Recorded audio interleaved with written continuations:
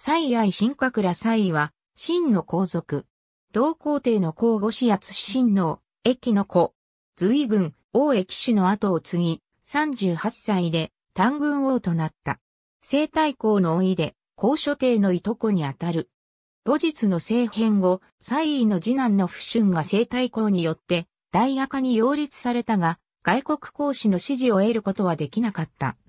聖太后は、反対を押し切って1899年4月に、不春を即位させ、安吉と改元し、公書帝を廃位した。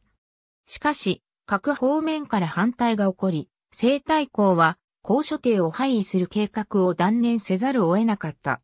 義和団の乱では、主戦派で、弟の保国公祭乱と共に、積極的に義和団を利用することを主張した。連合軍が北京に近づくと西太后と共に、西安に向かった。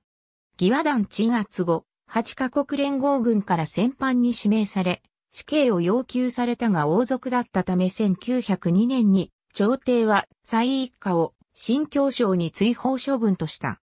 移動途中のモンゴルに泊まることになり、当初は友人や生態校の援助で裕福に生活できたが、有力者と不和になり、中華民国建国後、監修に移って、医師の長男の広氏の収入と北京政府からの生活費の支給で暮らした。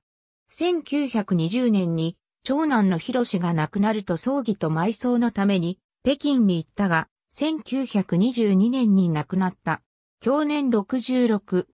広しの孫娘に巧妙な画家の愛新神楽、久しいがおり、著書、世紀風雪幻のラストエンペラーで、祭位の追放とその後について記している。ありがとうございます。